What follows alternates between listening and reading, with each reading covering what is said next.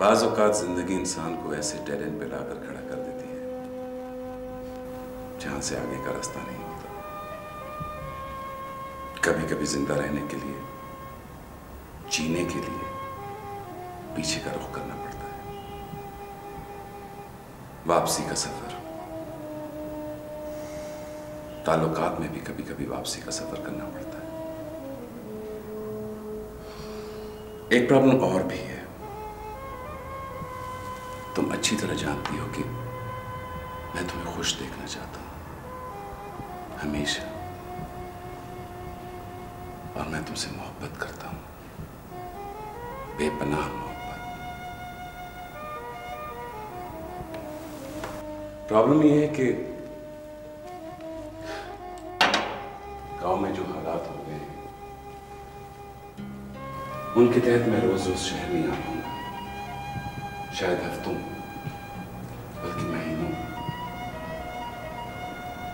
ऐन मुमकिन है कि सालों शहर ना आ सकूँ।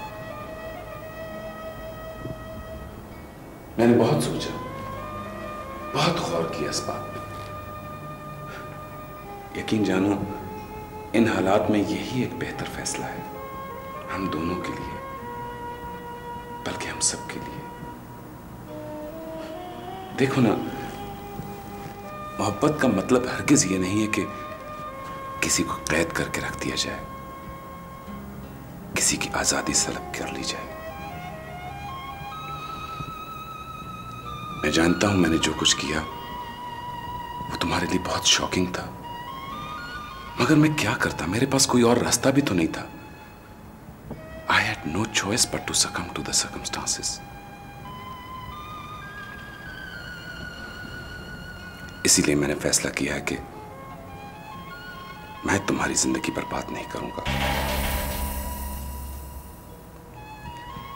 राबिया, मैं चाहता हूँ कि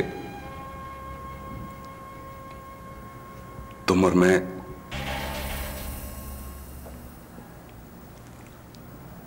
हम दोनों हम दोनों अलग हो जाएँ। मतलब?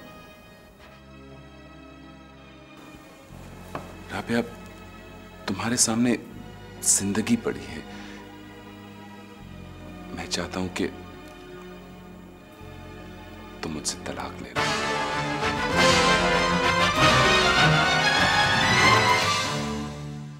जी तूर साहब आपने मुझे बुलाया? जी एस एच ओ साहब। एस एच ओ साहब कुछ नहीं कर रहे आप लोग। एक आदमी नहीं अब तक पकड़ा आपने। देखिए मैं नहीं चाहता कि मैं ऊपर तक जाऊँ लेकिन आप हैं कि मुझे मजबूर कर रहे हैं। ये बात नहीं तूर साहब कि हम लोग कोशिश नहीं कर रहे। हम लोग अपनी पूरी कोशिश कर रहे हैं। हमारे पास एक दो ऐसे तरीके हैं कि मुजरम एक दिन में हमारे कब्जे में होगा। मगर सर आपने खुद ही मना किया था। जो आपकी मर्ज़ी आप करें आपका जो दिल चाहे वो करें। लेकिन तबरेज गिरफ़्तार होना चाहिए। मैं हर हाल में उसकी गिरफ्तारी चाहता हूँ। देखिए ना हमने हर मुमकिन दामन किया है आपसे मगर आप सर आप हमें थोड़ा सा वक्त और दे दें। इन मुजरिम बहुत जल्द हमारे कब्जे में होगा। ठीक। है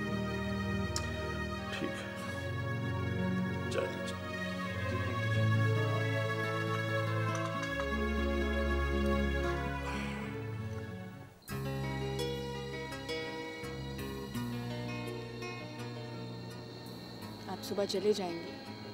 हाँ। इसीलिए मैं आपको यहाँ लेके आई हूँ। मैं चाहती हूँ कि हमारी आखिरी शाम एक साथ यादगार बना सकूँ। इन्हीं यादों के साथ तो बाकी सफ़र काटना है। मैंने आपसे कहा था ना आप बोलेंगे नहीं सिर्फ़ सुनेंगे। आपने जो कुछ कहा मैंने सब सुन लिया। मैं आपकी मजबूरियों को समझती हूँ। आपने बिल्कुल ठीक फैसला किया है। लेकिन मैं आपको अच्छी तरह जानती हूँ। आप एक अच्छे इंसान हैं। आप किसी से झूठ नहीं बोल सकते। किसी को धोखा नहीं दे सकते। लेकिन एक एक गुजारिश है। बैठो।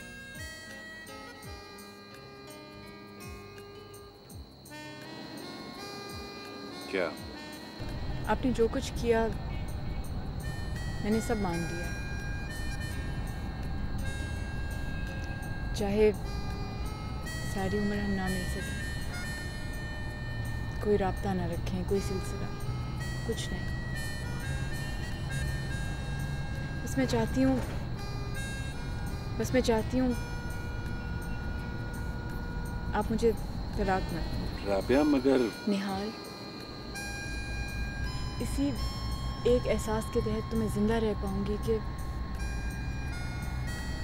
कि मैं आपकी हूँ। कैसी बातें कर रही हो? निहाल आपने जो कुछ भी किया मैंने तो उस पर कोई एतराज़ नहीं किया। आपने जो कहा मैंने मान लिया। लेकिन अगर आप मुझे ज़िंदा देखना चाहते हैं तो राबिया प्लीज़ प्लीज़ इस तरह तो मत कहो। बस। यही तय हुआ है कि मैं सारी ज़िंदगी राबिया निहाल बन के गुजारूँगा।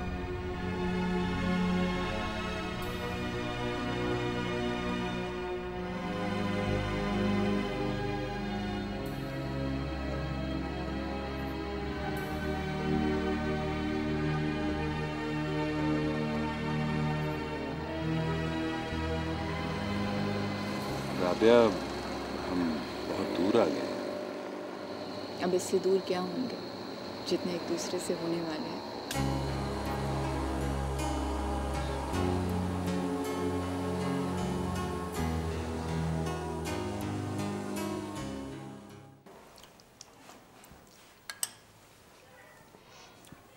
और तो मुझे कुछ याद आता नहीं बाजी। बस तेरे हाथ का खाना बड़ा याद आता है।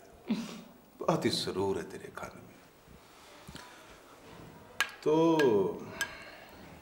कब आएगा बड़ा तूर? सरदारों की हवेली गया है। आज उधर ही रहेगा।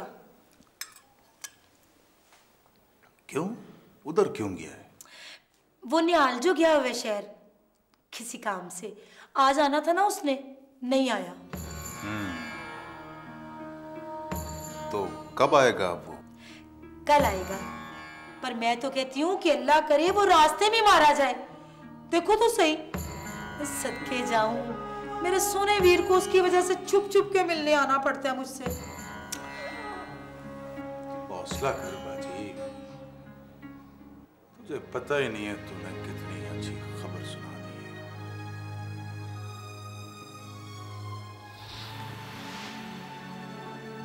अब देख क्या करता है तेरा। अच्छा बाजी मैं चलता हूँ। हाँ हाय। मैंने इतने चाहों से तेरे लिए ये मिठा बनाया। ये तो खाता जाना वीर। नहीं बाजी मैं रुक नहीं सकता। बहुत जल्द तुझे कुलों के चावल खिलाऊँगा। खुलों के चावल खिलाऊँगा? और किसके खुलों के चावल खिलाऊँगा? सरदार निहाल के और किसके? मैं मर गई। वे तबरेज वे ये किस तरह की बातें कर रहा है? वे ये क्या कह रहा है? तो क्या कर देगा? हाय मैं मर जाऊँ। जुबैदा हाँ हाँ सुन ली है। आ रही हूँ। सीबत खाना। एक तो एक मिनट के लिए इधर से इधर हो जाओ। मगर ये आवाज़ें जुबैदा जुबैदा।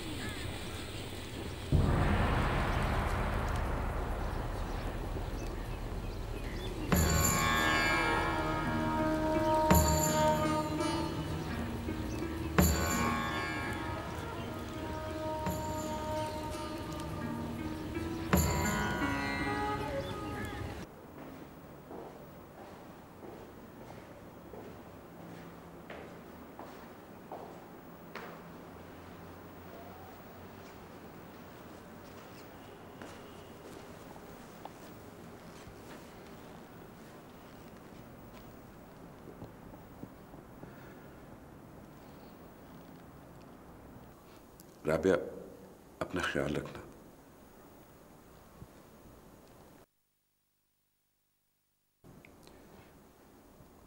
तुम कुछ कहोगी नहीं?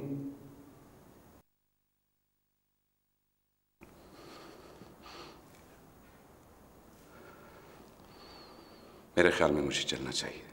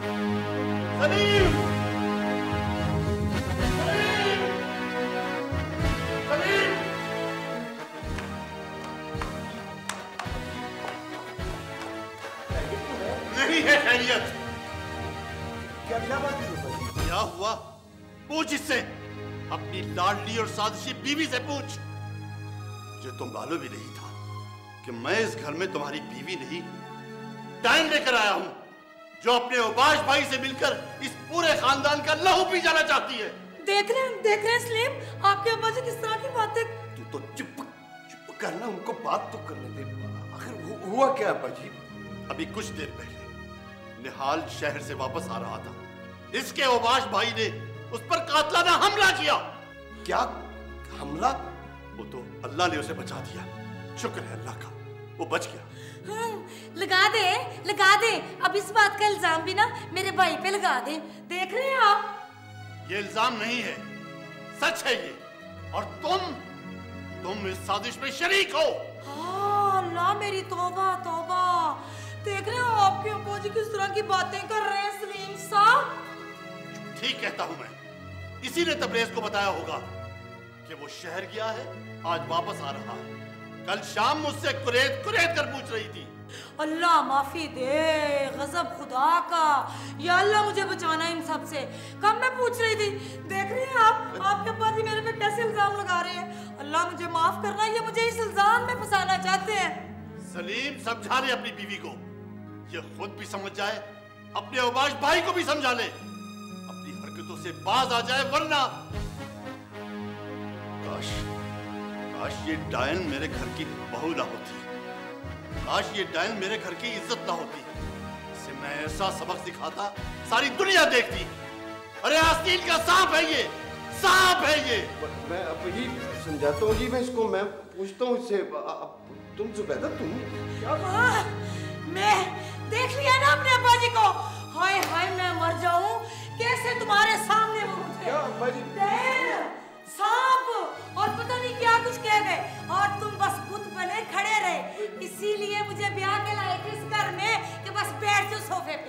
जी गुस्से में थे तुम बात को समझो तो सही जुबैदा मेरी बात तो सुनो तुम। नहीं सुननी नहीं सुननी नहीं सुननी। ओहो।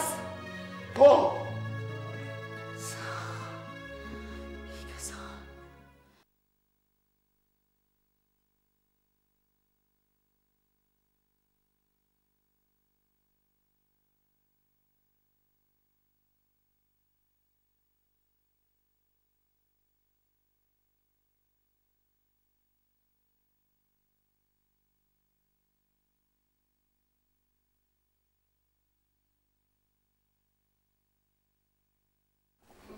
मैं मैं इसलिए आई थी कि आपकी तबीयत तो ठीक है? ठीक हूँ बिल्कुल। हमले की वजह से परेशान है? नहीं ऐसी कोई बात नहीं। फिर भी कभी इतना चुप तो नहीं देखा आपको? बस यूँ ही। अच्छा वो तुम आ गई। एक बात करना थी। कहिए। अभी तो नहीं अभी अमर छोटा है। मैं चाहता हूँ जब ज़रा बड़ा हो जाए तो उसे शहर के किसी अच्छी बोर्डिंग में दाखिल करा देंगे। क्यों? एक ही तो बेटा है मेरा। देखो ना गाँव में दुश्मनियाँ इतनी बढ़ गई हैं।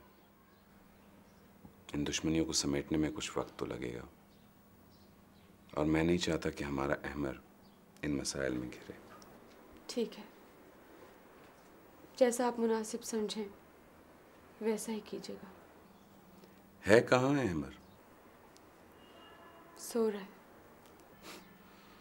पता है अहमर को देखकर मुझे ऐसा लगता है जैसे जमाल भी बचपन में बिल्कुल ऐसा ही होगा। हाँ पता है मियाँ जी भी कल यही कह रहे थे। मियाँ जी ने हम दोनों को पाला है। अब मियाँ जी ही तो रह गए हैं सवेली में, जिनकी आँखों में हमारा मासी है। वरना बाबा और जमाल ने तो बहुत जल्दी खिंचाने में। अल्लाह जाने क्यों।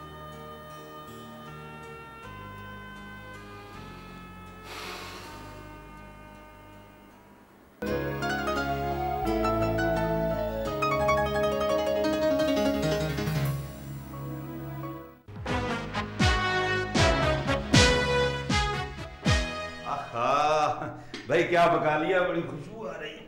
आपकी पसंद की माश की दाल बनाई है। वाह। खाए ना? चम्मच मैं तो- चम्मच लेके आई अस्सलाम वालेकुम सुल्तान साहब। तबरेज तुम्हारा बेटा है ना? हाँ हाँ मेरे ही बेटा है। क्या किया मेरे बेटे ने? यही तो पता लगाना है कि उसने क्या किया है।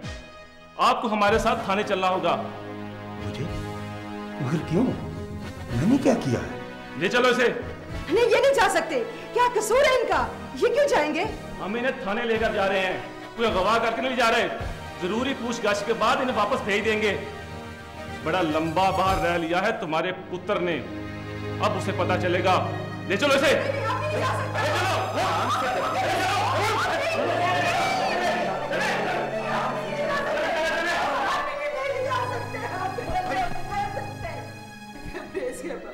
आप नहीं जा सकते। चले।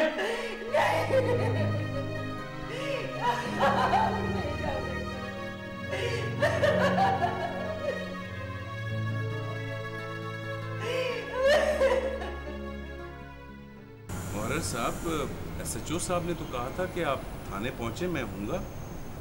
सरदार साहब वो आपके ही काम गए हुए हैं। क्या कर गए थे कि नाल साहब ने पानी पिलाना आप वो आते ही होंगे। अब तक तो आ जाना चाहिए था। ये रे जी अब पता चल जाएगा तबरेज का। ये कौन है? इसी को तो लेने गए थे। तो बाप है तबरेज का। उसको सब पता है। बताओ बुढ़े तबरेज किधर है? मैंने कहा है मुझसे कसम ले ले। मुझे नहीं मालूम तबरेज कहाँ है। नहीं मालूम मुझे मुझे नहीं मालूम। ये ये सब क्या है? आप असल मुलजम को पकड़ने की बजाय उसके पूरे बाप को ले आए? इनसे हमें कुछ नहीं लेना देना। इस तरह सर नाइंसाफी है। ये बात तो तूर साहब भी कहते थे। आखिर कोई ना कोई तो तरीका इस्तेमाल करना ही पड़ेगा। मगर किसी शरीफ आदमी पर जुल्म करना सरासर नाइंसाफी है। इन्हें छोड़ना होगा फ़ौरन। चाहे तबरेज पकड़ा जाए या नहीं। निहार साहब मगर मैंने कह दिया ना बहुत हो गया। मैं एसएचओ साहब से खुद बात करता हूँ। इनसे हमें कोई लेना देना नहीं है। इस तरह सर नाइंसाफी है। बल्कि आप जहाँ से उन्हें उठा के लाए हैं वापस ड्रॉप करना होगा इन्हें। बहुत बहुत शुक्रिया बेटा। बहुत शुक्रिया। चाचा जी कोई बात नहीं। बल्कि मैं आपसे माजरत चाहता हूँ। आपको बहुत तकलीफ़ हो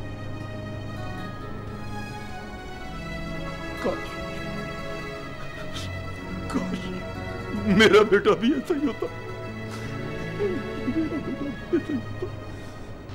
तबरेज तबरेज तबरेज और यार तबरेज बड़ी बुरी खबर है। क्या ब- क्या हुआ? और यार पुलिस तेरे अब्बे को पकड़ के ले गई है। इस इस मेरे अब्बे को पकड़ के ले गई? हाँ जिससे ने बताया कि निहाल भी उधर थाने में ही था। आज मैं तुझे ज़िंदा नहीं छोड़ आज मैं तुझे रुक जा। और पुलिस ने तेरे अब्बे को छोड़ दिया यार। नहाल कार चला गया। अब तू किधर जाएगा? अच्छी मैं आज मैं ये किस्सा ही खत्म कर। रुक जा रुक जा यार। रुक जा। ओए रुक जा। निहाल बहरहाल तुमने अच्छा किया बेटा। मैंने तो खुद एस एच ओ को बड़ी सख्ती से मना किया था कि सुल्तान को हरगिज तक नहीं करेगा लेकिन एस उसने तो मेरी उस दिन वाली बात पकड़ ली कि जो जी में करो। और इन लोगों को तो मौका चाहिए होता है, सब पैसा बनाने के चक्कर अच्छा मैं चलता हूँ। और हाँ तीन चार बंदे साथ लाया हूँ कुछ दिन यहीं रहेंगे। क्योंकि जब तबरेज को ये पता चला कि पुलिस उसके बाप को इस तरह उठा कर ले गई थी वो कोई गलत हरकत कर सकता है। चाचा जी मेरे ख्याल में इसकी ज़रूरत नहीं है। हमारे अपने बंदे इतने हैं कि चलो क्या फ़र्क पड़ता है? ये बंदे भी तो अब आप ही के हैं। आप जरा ख्याल रखें। जी। चलिए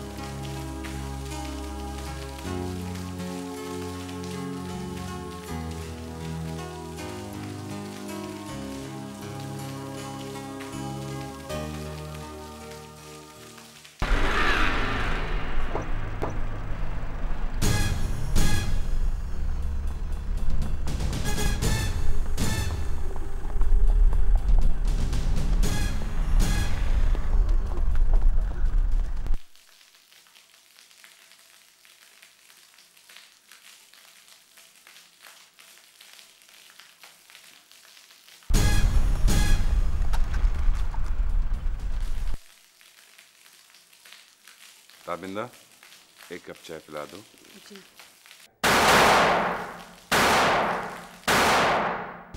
सरदार साहब सरदार साहब बाहर वो मियाँ जी क्या हो रहा है? हवेली पर तबरेज फायरिंग कर रहा है। तबरेज फायरिंग कर रहा है? जी सरकार। सरदार मक्का तुम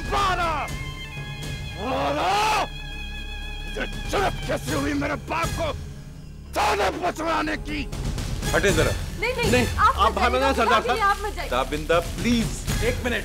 मियाँ साहब संभाले से रुक जाए मैं कह रही हूँ। सरदार निहाल! मक्का तुम पाना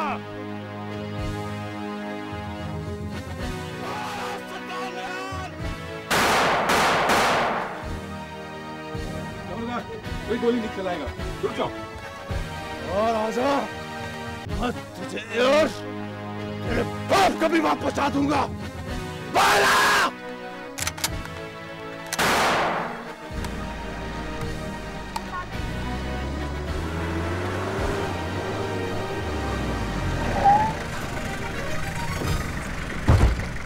मारने की कोशिश की वरना गोली मार दूँगा छोड़ दो मुझे ओ सरदार निहाल। मैं ओए, मैं तुझे नहीं! ले जाओ इसे।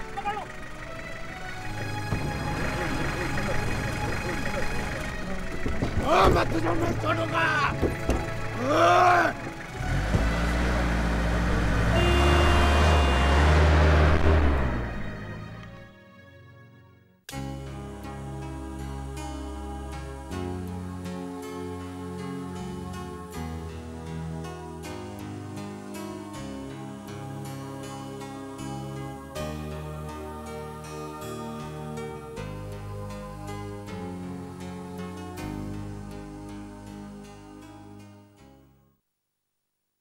मुझे उम्मीद है आपको ये गीत पसंद आया होगा। ये नाहिद की फरमाइश थी, गाना था, क्यों दूर दूर रहंदे हो हुजूर मेरे कोलों?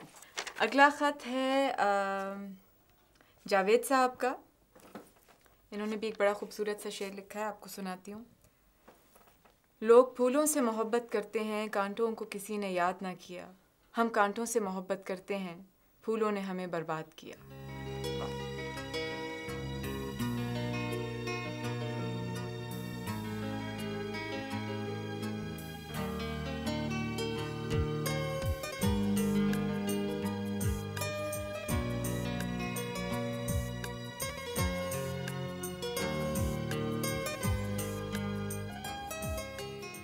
हमें उम्मीद है कि आपको हमारा प्रोग्राम पसंद आ रहा होगा।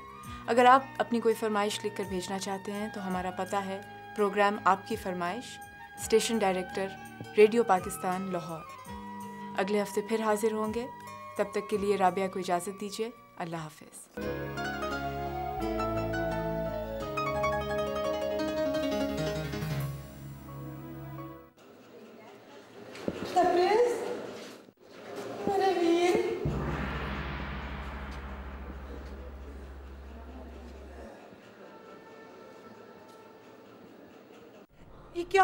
हो ना सब ठीक हो जाएगा। आज नहीं तो कल। कल नहीं तो परसों। वार तो आना ही मुझे। छोड़ूँगा नहीं मैं सरदार ने अब खत्म भी कर तबरेज क्या ज़रूरत है इन सारे कामों की? कैसे खत्म कर दूँ? कैसे खत्म कर दूँ? उन्होंने उन्होंने मेरे बाप की बेइज्जती की है। मैं मैं उसे उसके बाप और भाई के पास कर ही दूँगा। तूने कौन सी हमारी इज़्ज़त की है बेटा? जो दूसरे बेइज्जत न करेंगे। तू इस लायक होता तो आज ये दिन देखना नसीब ना होते हमें। भाई अब्बा मेरी बात सुन ले। तूने यही बातें करनी हो ना तो यहाँ ना आकर मुझसे मिल ले। बात न घबरा, मैं मैं बात करूँगा, भाई से हाँ। भाई से।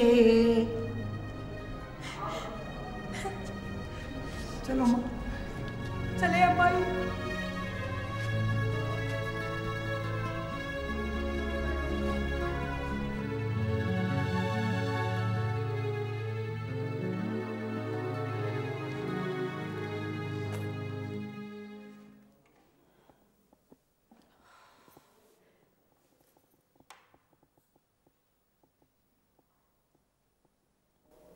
रेशमा? रेशमा? जी। या पानी पिला देना?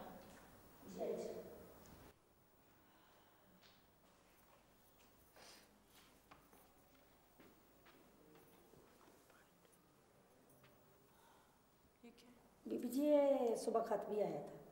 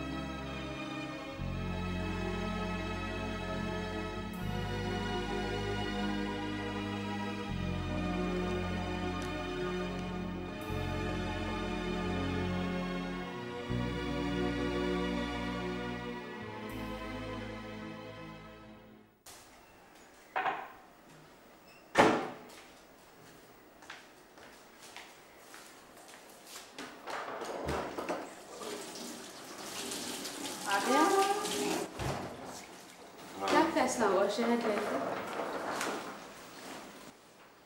अभी कहाँ? आखिर कत्ल का मुकदमा है टाइम तो लगेगा। देखो। वकील कह रहा था कि हमारा मुकदमा बहुत मज़बूत है। चौदह साल कैद होगी। सजाए मौत भी हो सकती है। अच्छा है। तबरेज के साथ यही होना चाहिए। हम्म। ये तो है मगर कभी कभी तबरेज के बूढ़े बाप को देखकर तरस आता है। उस बेचारे का क्या कसूर? देखो ना इस उम्र में भी जवान औलाद की खातिर कचहरियों में धक्के खा रहा है। खाना लगवाओ। हाँ लगवाओ। क्या बनाया? आपने कल कहा था ना अचार गोश्त? वही बनवाया। है जमाल को भी अचार गोश्त बहुत पसंद था। बाबा तो चखते भी नहीं थे बिल्कुल। हाँ जब बाबा शहर जाते थे ना तब वो फरमाइश करते थे।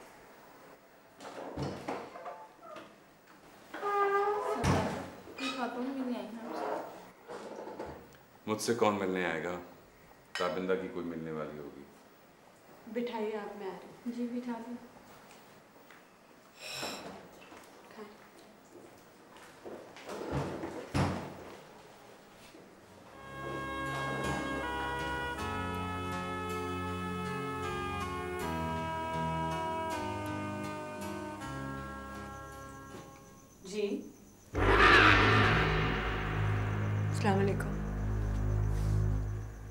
मुझे सरदार निहाल से मिलना है।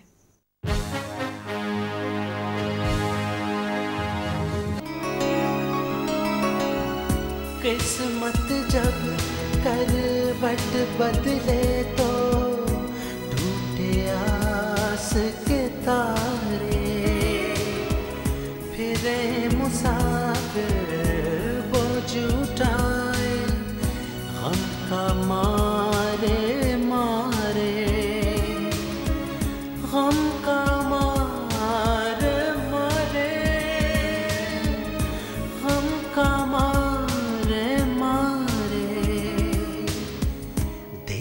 देखते देखते सारे संग और साथ बदल जाते हैं। जब रिश्ते करवट बदले